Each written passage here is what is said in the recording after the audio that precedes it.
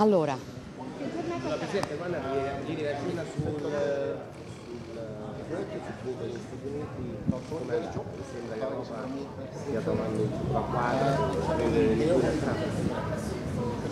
ma guardi, a me pare che l'Europa debba trovare una quadra e prendere le misure di se stessa, perché poi eh, noi sembra che scopriamo dei dibattiti oggi, no? Penso al tema della competitività, penso al tema eh, del- de- de- de- dei dazi piuttosto che, però ricordo che il dibattito sulla competitività europea è un dibattito che è iniziato mesi fa, che ebbe un'impennata all'indomani dell'Inflation Reduction Act, cioè del piano imponente di aiuti di Stato che l'amministrazione Biden metteva in campo per proteggere l'economia americana, che rischiava di creare un, un disequilibrio no, con la competitività e con, con l'attrattività europea. E quindi secondo me alla fine il dibattito è sempre, eh, diciamo, no, se volessimo farlo con una battuta che ricorda appunto i presidenti americani, non chiederti cosa gli Stati Uniti possano fare per te, chied- chiediti cosa l'Europa debba fare per se stessa, che è il dibattito di questa mattina, che è un dibattito particolarmente importante, partendo come sapete dalla eh, proposta, insomma, dal piano presentato da Mario Draghi, un altro italiano che è stato incaricato di eh, individuare le priorità per i prossimi anni dell'Unione Europea, credo che ci siano molte sfide più o meno noi sappiamo che cosa dobbiamo fare. La grande domanda alla quale dobbiamo rispondere adesso è se davvero vogliamo dare gli strumenti agli Stati membri per centrare gli obiettivi le strategie che ci poniamo di fronte e su tutte la questione delle risorse è certamente la, la questione che va affrontata perché eh, sappiamo che gli investimenti necessari per fare tutte le cose che vorremmo fare sono molti e quindi questo è secondo me il vero dibattito che non so se diciamo, stamattina arriverà a soluzioni concrete perché sono sempre dibattiti molto lunghi, ma è l'elemento centrale sul quale intendo concentrarmi. Posso scendere il 2%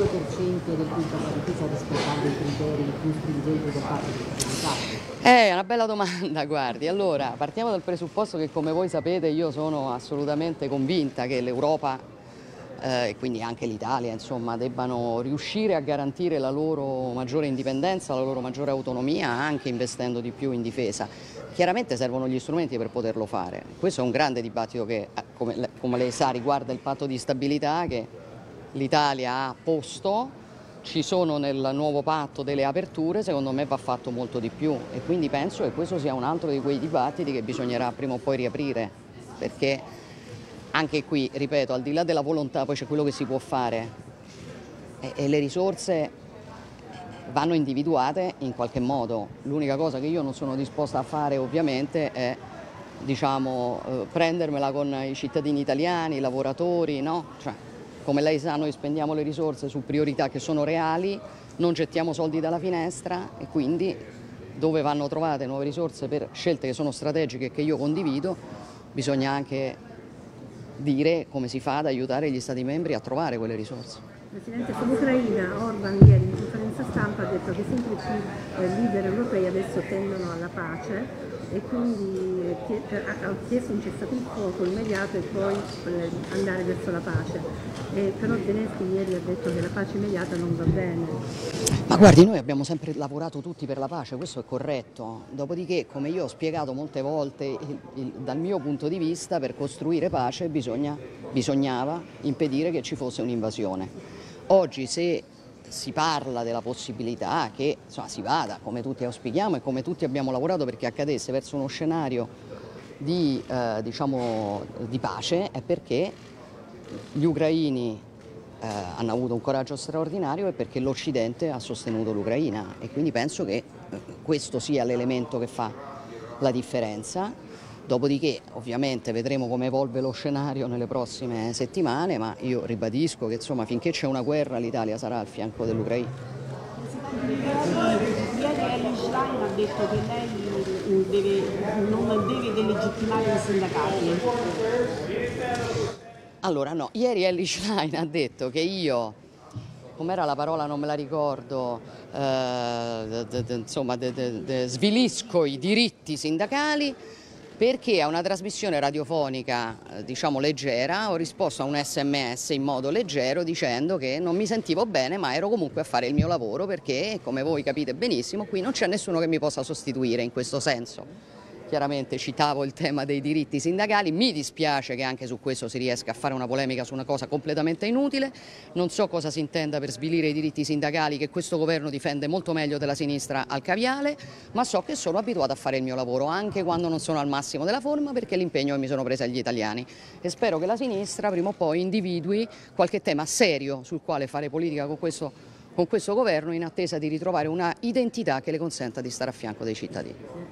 Del ruolo di Elon Musk L'ultima che Orban in politica è intervenuto in maniera sostanziale nella campagna elettorale statunitense, ieri ha attaccato il cancelliere Scholz e il suo, al di là del suo ruolo di imprenditore, che, che, che giudizio dà del suo impegno politico e della sua Guardi, non so cos che cosa si intenda esattamente per impegno politico, sicuramente è una persona che si è schierata nella campagna elettorale di Donald Trump come migliaia di altre persone si sono schierate nella campagna elettorale americana da una parte e dall'altra, insomma sembra che sia nel diritto dei cittadini aderire alle campagne elettorali. Dopodiché io eh, eh posso dirle che considero, come lei sa, Elon Musk un valore aggiunto in questo tempo, una persona che sicuramente eh, diciamo, ha fatto delle cose straordinarie, delle cose importanti e penso che debba, debba e possa essere un interlocutore, una persona con la quale confrontarsi. Ma che ne so, ma questo lo chiedo a Elon Musk, mi scusi, non lo so, non ne ho idea e non mi sembra un tema, mi permetta così rilevante, è una scelta sua. Eh, ieri il protocollo Albania e l'immigrazione in generale non erano al centro della, del dibattito del Consiglio europeo, se ne è parlato, ne è parlato nella EPC, nella, eh, nella commissione sulla migrazione della quale io facevo parte, continua a esserci uno straordinario interesse da parte dei nostri colleghi e una, eh, diciamo, un'attenzione che io considero assolutamente positiva e insomma c'era un po' di curiosità ecco, anche circa eh, tutto questo dibattito che riguarda il tema dei paesi sicuri perché poi chiaramente quello che accade in Italia coinvolge anche gli altri. E quindi c'era un po' di preoccupazione su questo tema che secondo alcuni diciamo, i governi non sono nella condizione di poter definire uno, un, cosa sia uno stato sicuro, una, una, un paese sicuro e che leggendo i, alcuni, diciamo, alcune sentenze si rischia di trovarsi di fronte a una realtà nella quale non esistono paesi sicuri, che come io ho detto tante volte e come tutti capiscono, di fatto compromette ogni possibilità di governare l'immigrazione e di fermare l'immigrazione illegale di massa. E quindi sì, questa è una parte del dibattito sul quale trovo molta solidarietà. Scusate. Allora. La